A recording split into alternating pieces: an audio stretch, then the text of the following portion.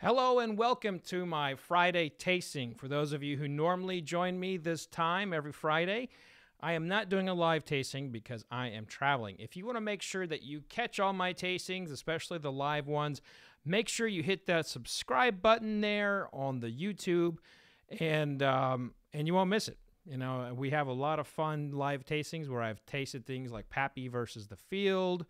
Uh, I've tasted uh, Henry McKenna against other Heaven Hill products, and I've got more lined up down the road. But I'm traveling right now, so you get this one recorded. And I have a fun flight here. I've got a little bit of rum, a privateer rum. Uh, I actually have a celebrity whiskey here, Pat Benatar's husband, uh, who's a famous uh, singer songwriter and guitarist right here with the three chord. Really kind of like the story behind that three chord whiskey.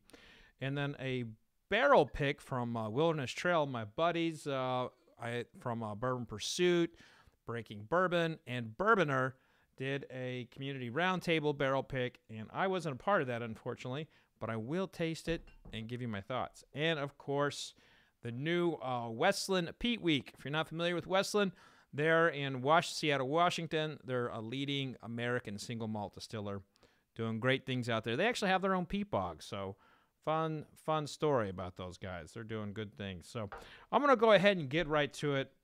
If you don't know, I wrote a book called Rum Curious. I tell people all the time that I am a big rum nerd. In fact, um, I would say if uh, if you had to to make me choose of like what rum would I take with me on a deserted island, I think it would probably be pretty easy. It'd probably be Foursquare. Foursquare rum is just something that's so amazing. It's delicate. It's complex. Uh, there's nothing like it in the in the world. But there are other rums in this world, and Privateer, I believe, is probably the best American rum. They do uh, a, a consistently. They do a lot of great things. Now, Richland rum in Georgia was actually my pick for best American rum a few years ago, or last year, not a few years ago, or was it two years ago? My God, it's 2020. How time flies.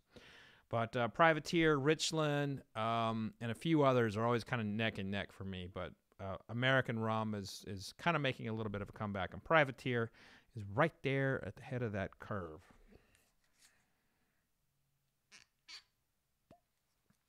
So you can buy this at uh, Seelbach's. Uh, speaking of Bourbonr, that is owned by my friend Blake uh, Riber. Uh, it's called go to seelbachs.com. I'll try to provide a link here so you can buy it. Uh, you can buy it and he'll ship it to you to your house.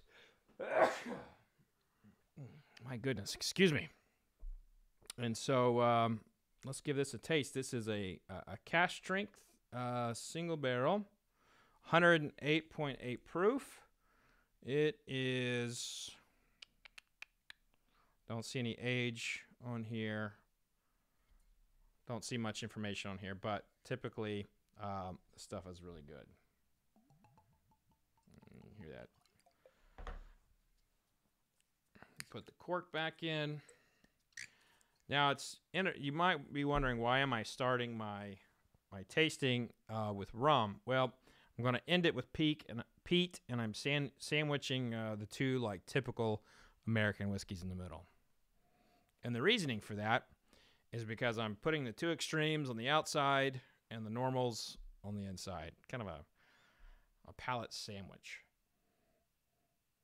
So off the nose, I, I get some um, some really nice uh, molasses, uh, some like uh, cherry, some cherry syrup, uh, not like cough syrup, but like um, like you're you're at the end of the maraschino cherry jar, and it's got like that syrupy smell you kind of know that smell. You, you're about to throw it away. And your hands get all sticky when you like throw it away. And honestly, this is gonna sound strange because it's a rum, but I get rye bread in this. Like I get a big old whiff of rye bread. So, yeah. Oh boy. On that palate, it's just so good. It's uh, layering it with maple syrup, uh, coffee, toffee, uh, vanilla. Um, my goodness, there's a lot of spice there, kind of a cardamom. Oh man, this is just gorgeous. This is just gorgeous. And I got to tell you something too. This is this is the future of American rum, and this is incredibly exciting. You know, American rum used to be a great category, and then it turned to shit. Wow, this is fantastic. If this is what all rum tasted like, rum would own the category. It would, it would, it would own spirits drinkers, the the people who like to sip the the spirit versus have a cocktail. But unfortunately, this is not what all rum tastes like. People want to water it down. They want to add sugar, all kinds of stuff. Mm. Highly, highly recommend this. My God, that's good. Kudos to uh, Privateer for putting out such a beautiful, beautiful rum. And kudos to my buddy Blake at Seelbach for finding this and sending it to me. That is that's um that was a fun thing to open there. Okay. So now about this bottle. This is a this is a 12 year old um, blended bourbon. So it's a blend of straight bourbons. It's a blend from uh, India, uh, Tennessee and Indiana. I'm sorry, Kentucky and Tennessee. And it is bottled in Michigan. Now, Neil Giraldo is married to Pat Benatar and is, uh, in his own right, a famous musician who's written tons of Grammy winning songs. Incredible talent. And as you know, if you've been following my new podcast, The Fred Minnick Show, which was basically named that because, for lack of better uh, naming, um, you know, I'm trying to do things where I put whiskey and music together. And so I on that podcast, I interview musicians, and I uh, might have to see if I can get Neil and uh, Pat on the show. That might be a good interview. And we sip their whiskey. But they sent me this bottle. We're gonna find out what they're all about.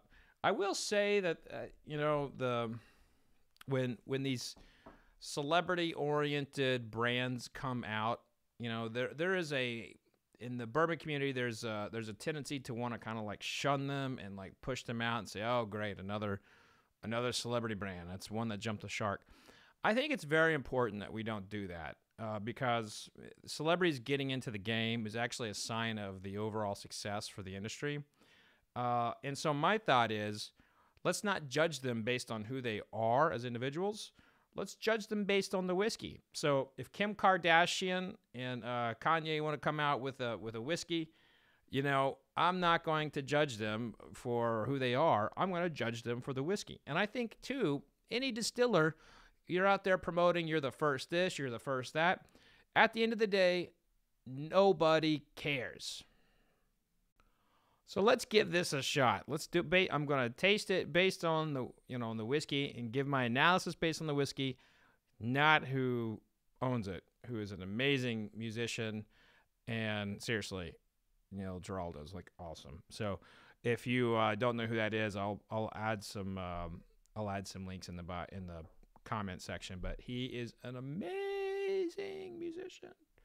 Okay, so here we go. Tasting, gonna taste the three chord, 12 year old uh, straight bourbon whiskey. Now, this is a blend, so it's a blend of straights.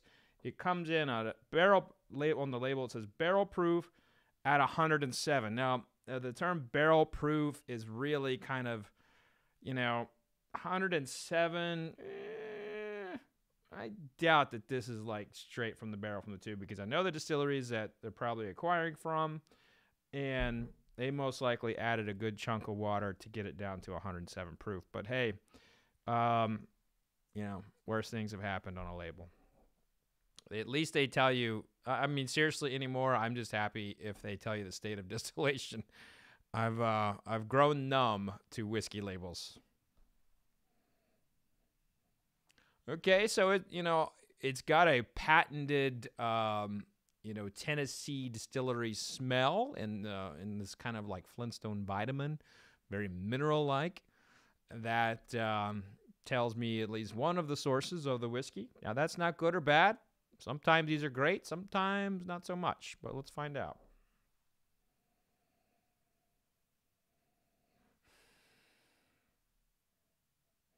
And then there's like a cotton candy coming in underneath.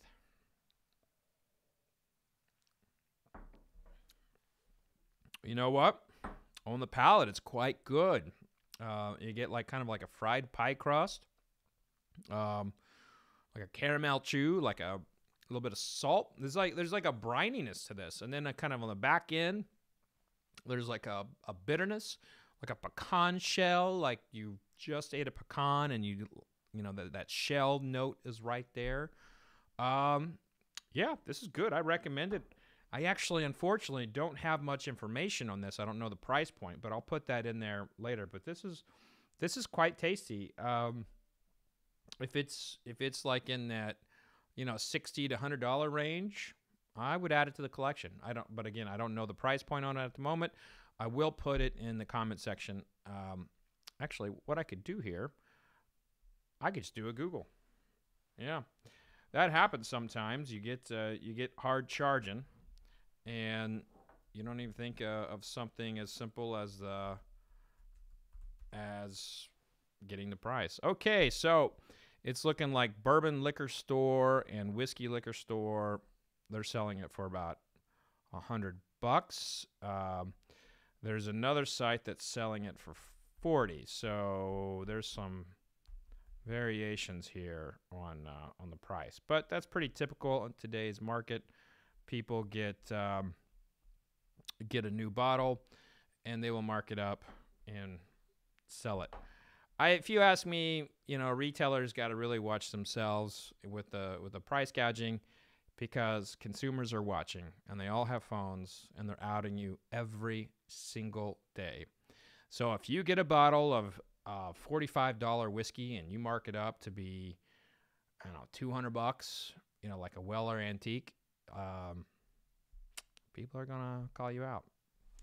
So now let's get to the Wilderness Trail pick uh, from my good friends uh, on the Community Roundtable. Now, if you're not subscribing to the podcast Bourbon Pursuit, make sure you are. That's uh, I'm a part of that. I got a series in that in every episode called Above the Char, and I also will uh, join in for interviews. So it's a it's a good time. So you'll learn. You, it's for the bourbon geeks. So if you want to learn more about bourbon, jump on Bourbon Pursuit. Okay, so this is uh, four years old and four months, and it is the um, it's a single barrel.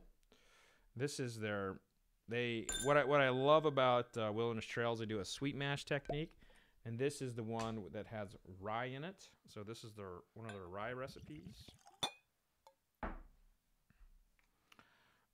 And you know they have this synthetic. I don't know what it is. I don't like synthetic corks, and it kind of every time I pull one, they're like harder to put back in.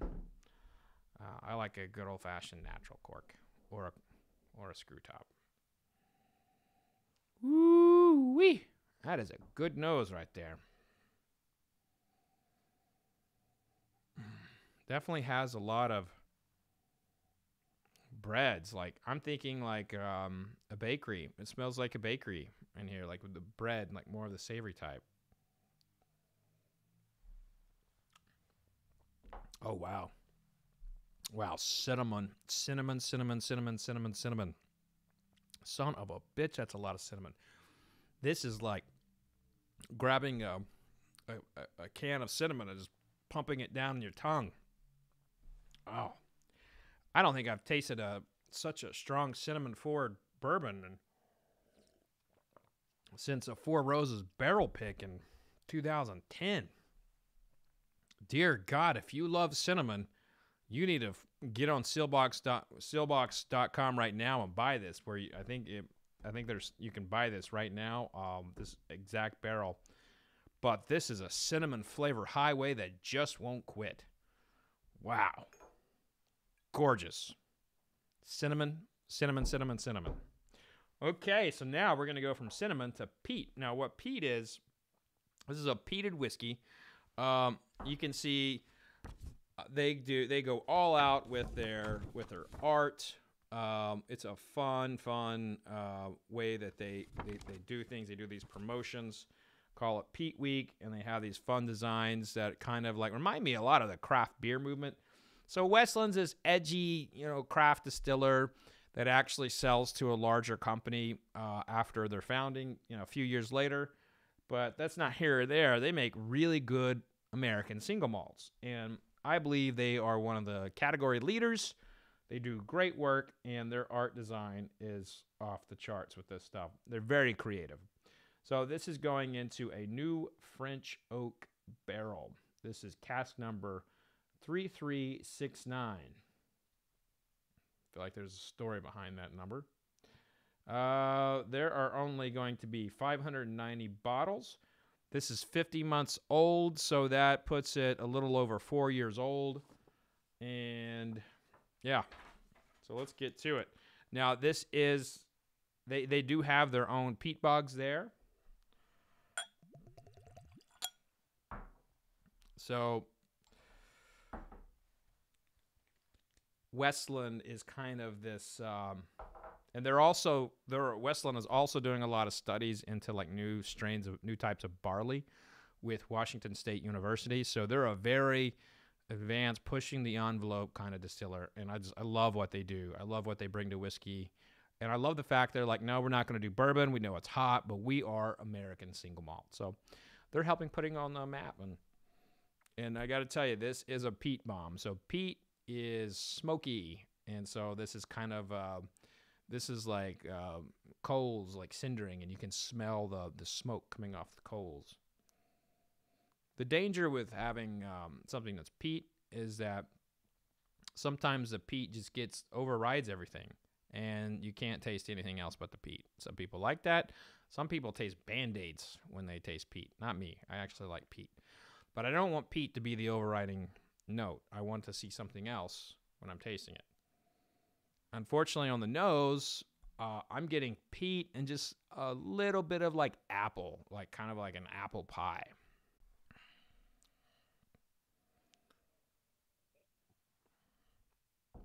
Mm. On the palate, that smoke is definitely there.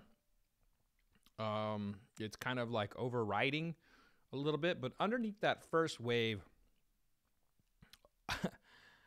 I'm not gonna lie, there's this fun rice pudding. Rice pudding is not something I would expect out of a, of a out of a Westland product, but I'm getting this crazy rice rice pudding, and you know you you get those rice puddings, and sometimes there's a little kind of like burnt uh, sugar over top. That's what it's like. It's not quite a creme brulee note, but it's very similar. And I like that. I like that quite a bit. So this round of um, this round of tasting really turned out to be a fun one. I, I enjoyed this rather a lot.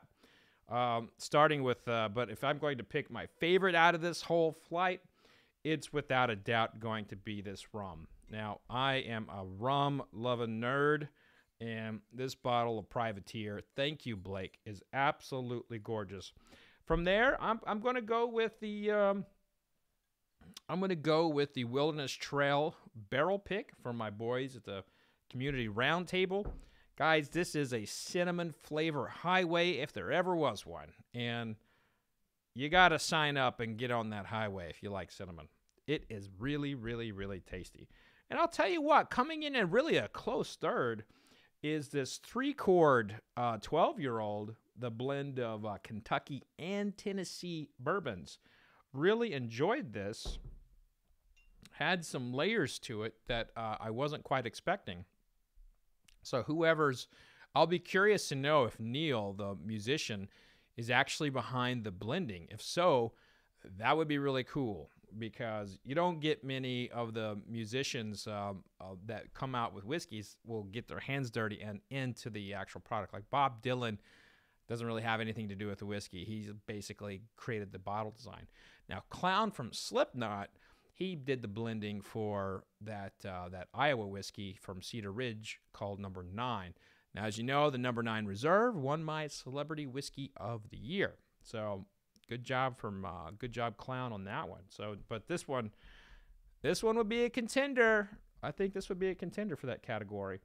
And uh, the Peat Week always impresses. What a this was um this was a very flavorful uh, whiskey, and I rather enjoyed the uh, rice pudding note I got. So if you're into rice pudding, if you're into uh, smoke, go find one of these bottles of uh, Peat Week from Westland. So that'll do it for this Friday tasting. Make sure you're clicking subscribe so you don't miss any tastings coming up. And hey, why not give me a follow on the social medias and check out my new podcast where I interview musicians. And don't forget my baby, Bourbon Plus. I will talk with you next week. Until then, see you later.